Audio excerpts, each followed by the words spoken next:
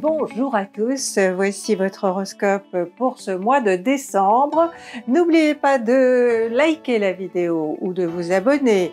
Et n'oubliez pas non plus que vous avez euh, le choix dans nos consultations entre Zoé et moi, que la vidéo euh, de l'année 2021 est toujours euh, à visionner, évidemment les horoscopes hebdomadaires aussi.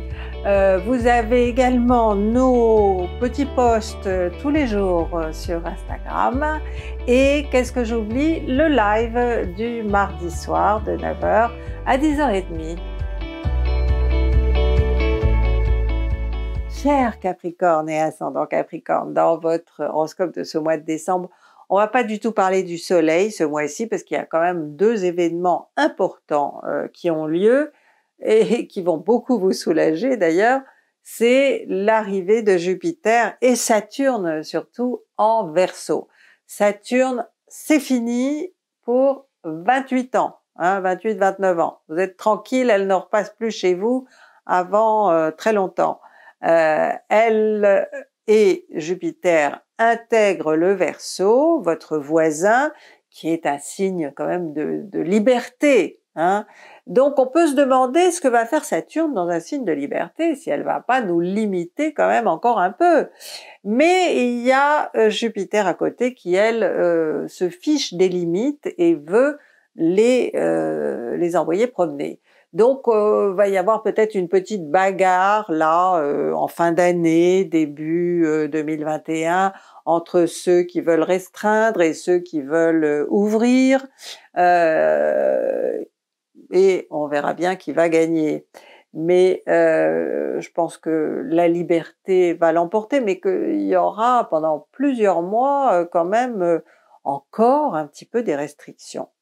Euh, vous, en ce qui vous concerne, c'est surtout sur le plan financier hein, que, les problèmes se passent parce que, euh, bon, si vous avez votre propre affaire, vous avez forcément euh, eu subi hein, toutes les restrictions qu'on a subies cette année et vos rentrées n'ont pas été à la hauteur et vous allez un petit peu ramer en début d'année sur le plan financier. On en vient à Mercure maintenant, euh, planète d'échange, euh, euh, qui gère votre, quotidien et, surtout les détails hein, du quotidien auxquels parfois vous accordez trop d'importance hein, en tant que, que, Capricorne. Donc Mercure commence le mois en Sagittaire dans votre douzième secteur. Elle n'est pas très active, hein, elle n'est pas très efficiente, très efficace quand elle est en, Sagittaire parce que euh, vous doutez. Vous doutez euh, de votre mémoire, vous doutez de votre euh, vision, vous doutez de ce que vous allez dire. bon, cela dit, je vous dis, c'est des détails et ça va durer une journée, voire une demi-journée. Ce sera peut-être lors d'une conversation, d'un échange, que vous aurez ces doutes en vous. Ça va vraiment, franchement, ça va pas vous changer la vie et, je vous conseille de n'y accorder vraiment qu'une importance très limitée. D'accord?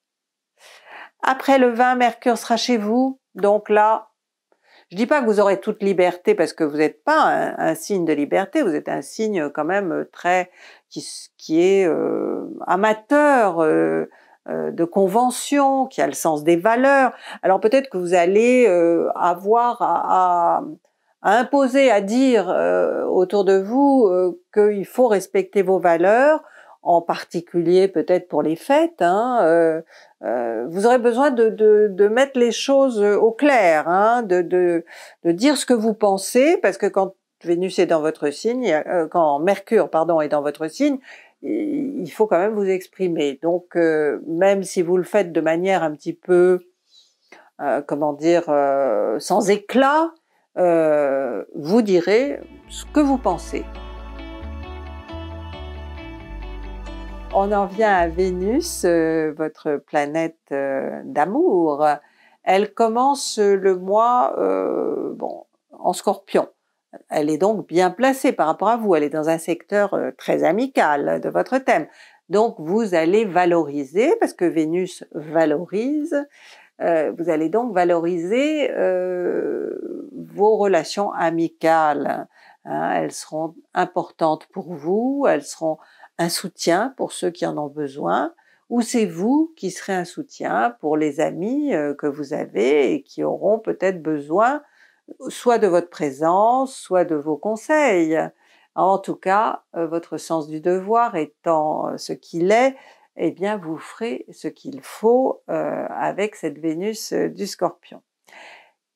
Par la suite, après le 15, elle va être en Sagittaire, donc elle va être dans votre secteur 12 et je pense que vous laisserez vos affects, vos sentiments, quand même un petit peu de côté euh, parce que vous serez occupé ailleurs, tout simplement. Hein.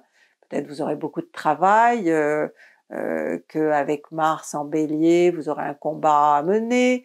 En tout cas, vos amours ne seront plus, euh, ne seront pas au centre de vos préoccupations. Et si, bon, elles le sont, parce que c'est possible, hein, avec une Vénus en 12, on peut se poser des questions. Ça, n'est pas du tout exclu on peut se poser des questions, mais ça reste intérieur.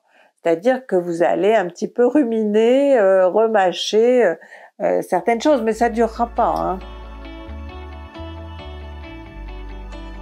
On en vient à Mars, justement, dont je viens de vous parler. Elle est toujours en bélier, hein, donc ça fait quasiment, ça fait six mois. Et là, elle, bon, elle termine sa course le mois prochain, enfin sa boucle. Et euh, donc elle revient euh, dans le troisième décan euh, du bélier, donc votre troisième décan va se trouver, trouver confronté à elle ce mois-ci. Et bon, elle représente les combats, les rivalités, les conflits, vous voyez tout le côté offensif finalement des énergies martiennes des énergies que vous allez mettre au service, à votre propre service, parce que c'est vous qui allez devoir peut-être vous imposer, imposer votre travail, euh, vous imposer face à des supérieurs qui voudraient euh, que vous alliez moins vite, que vous fassiez moins bien, euh, parce que vous avez quand même, euh, en tant que Capricorne, vous mettez toujours la barre euh, assez haut. Donc, quand vous vous y mettez, bon, ça peut évidemment comment dire, rendre certaines personnes jalouses ou, envieuses hein, de votre énergie euh, constructive. Euh, en tout cas, elle va s'exprimer de manière constructive dans le travail. Mais bon, euh, alors dans le domaine familial, j'ai peur qu'il y ait encore quelques conflits comme vous en avez eu d'ailleurs euh, l'été dernier, hein, euh, la première fois qu'elle est passée. Alors comment est-ce que vous avez réglé le problème à l'époque? Euh, C'est peut-être la question qu'il faut vous poser, parce que si ça revient, ça veut dire que vous ne l'avez pas complètement réglé, que vous n'avez pas fait tout à fait ce qu'il fallait. Je vous souhaite à tous d'excellentes fêtes que ce soit Noël, Hanouka ou euh, évidemment la nouvelle année. Je vous attends sur le 3210 ou sur rtl.fr, voire sur le site du Figaro TV Magazine. Excellent mois de décembre